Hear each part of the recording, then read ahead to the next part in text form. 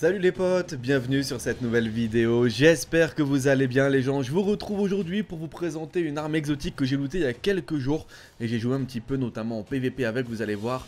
Alors cette arme, c'est une épée exotique, je vous la montre tout de suite, elle s'appelle la griffe noire. C'est vrai que les exotiques sont très compliqués à faire tomber, hein. moi j'ai pas eu beaucoup de nouveaux exotiques, j'ai eu celle-ci, j'ai eu le seigneur de, loup si je dis pas de bêtises, bon après évidemment j'ai eu as de pique etc, gouvernante via les quêtes, j'ai eu également l'arc, un tueur de souhait via les quêtes, c'est tout ce que j'ai eu, j'ai pas eu d'autres exos. Alors j'ai eu des vieux exos, hein, je crois que j'ai dû faire tomber en tout 3 euh, ou 4 exotiques en tout, mais j'ai eu des vieux exos, euh, vraiment en loot pur, j'ai eu la griffe noire et les seigneurs de loup, c'est tout ce que j'ai pu avoir pour l'instant. J'espère en avoir d'autres au niveau des armures, j'ai rien eu de nouveau. C'est vrai que ça tombe très rarement, hein, beaucoup de gens se plaignent d'ailleurs, mais je trouve ça pas plus mal, puisqu'au moins les exotiques, c'est pas comme au début de Destiny 2, où on en avait via la campagne, etc. Là au moins, on galère un petit peu à les avoir, et je trouve que c'est pas plus mal. Je voulais vous présenter cette épée, alors je vais pas non plus en dire que du bien, puisque vous allez voir notamment au niveau du PVP, je la trouve un petit peu abusée, limite même cheatée. Vous me direz ce que vous en pensez dans l'espace des commentaires, je vous montrer quelques clips que j'ai pu faire avec. Alors je me suis pas non plus acharné, hein. c'est vraiment, j'ai pas beaucoup joué avec cette épée, c'est quelques clips sortent de quelques parties. Et vous allez voir que franchement je fais un carnage avec c'est incroyable. Alors voici la griffe noire. C'est une épée exotique comme je vous l'ai montré.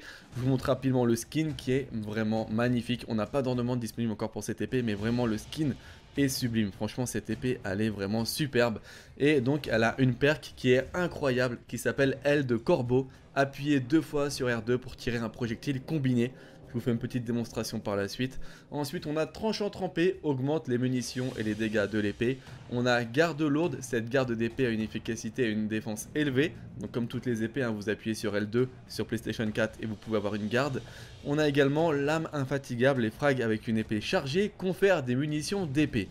Dans le chargeur, vous pouvez voir, on peut avoir 42 munitions maximum. Alors, je n'ai pas d'items au niveau des armures qui permettent d'avoir plus de munitions d'épée. Je pense que ça existe, mais j'en ai pas. Je pense que du coup, on peut en avoir plus que 42. En tout cas, moi, pour ma part, au maximum, sans item particulier, je peux posséder 42 munitions d'épée. Et vraiment, la perque qui est incroyable sur cette épée. Alors, au niveau du PVE, ça va se ressentir un petit peu. Alors, attendez, il faudrait que je trouve quelques mobs pour vous montrer. Au niveau du PVE, ça peut se ressentir un petit peu. C'est pas non plus incroyable, puisqu'il y a le slipper qui est quand même assez présent au niveau du PVE. Mais là, vous voyez, alors malheureusement, j'ai pas assez de munitions d'épée, mais je vous montrer un petit exemple, hein, puisque je l'ai testé tout à l'heure dans un secteur oublié pour vous faire un petit clip. Mais c'est vrai qu'on peut cleaner quand même assez facilement les zones avec cette épée. Bon, ça reste du PVE, il y a le murmure de verre qui est présent. Il y a également, bien évidemment, euh, le, le, le, slipper simulant hein, qui est présent et qui fait énormément de dégâts. Mais par contre, au niveau du PVP, je vous montre quelques petits clips à l'écran. C'est vraiment tiré de quelques parties. Hein. J'ai pas joué énormément à l'épée non plus. Euh, et c'est incroyable. Alors, d'autant plus que désormais en PVP, les munitions tombent quand même assez facilement. On va pas se mentir, les munitions lourdes tombent assez facilement désormais en PVP.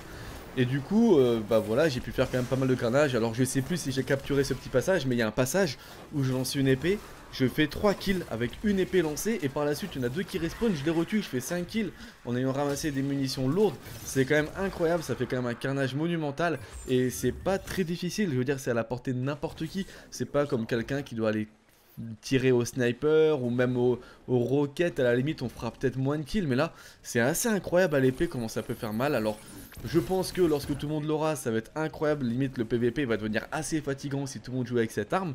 En tout cas, voilà, je tenais à vous la présenter. Pas forcément pour en faire son éloge, même si la perque qu'elle possède est assez particulière.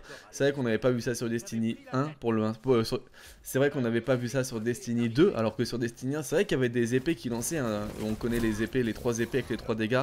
Donc solaire, cryo et, et abyssal. Je ne me souviens plus de leur nom, mais il y en avait une, il me semble, qu'il pouvait lancer euh, des, projectiles comme ça à distance, mais c'était pas autant abusé. Là, franchement, c'est abusé, ça va limite chercher la cible. Et, voilà, donc dites-moi dans l'espace des commentaires ce que vous pensez un petit peu de cette épée. Je voulais surtout avoir votre ressenti. Moi, personnellement, je trouve que c'est abusé. La prise en main est ultra rapide, il a rien de difficile. Vous voyez des ennemis, tac, vous appuyez sur R2, quitte à mourir, vous allez faire 2 ou 3 kills s'ils sont collés. C'est assez incroyable, ça fait très très mal. Voilà, donc je voulais avoir votre ressenti. J'espère en tout cas que cette vidéo rapide vous aura plu. Ne pense pas que je referai des gameplays avec cette épée, puisque comme je vous l'ai dit, moi personnellement, je la trouve un petit peu trop abusée, notamment au niveau du PVP. Au niveau du PVE, je trouve qu'il y a d'autres armes beaucoup plus intéressantes, notamment le murmure et le slipper. Bien évidemment, pour l'instant, c'est les deux armes qui ressortent. C'est les deux armes importantes, j'ai envie de dire, pour faire le raid, même si on peut s'en sortir largement avec d'autres euh, armes. Je vais pas oublier non plus le mille voix, j'ai pas eu la chance encore de le looter, mais c'est vrai que le mille voix est une arme très intéressante également à jouer en arme lourde, que ça soit en PVP et en PVE. Mais à la limite, il faut plus anticiper les déplacements de l'ennemi avec le mille voix qu'avec l'épée. L'épée c'est vraiment on rentre dedans, on appuie sur R2 et tac, la lame part et fait un maximum de dégâts. J'attends de voir votre ressenti dans l'espace des commentaires et moi je vous dis à très bientôt pour de prochaines vidéos les potes. Prenez soin de vous. Tchuss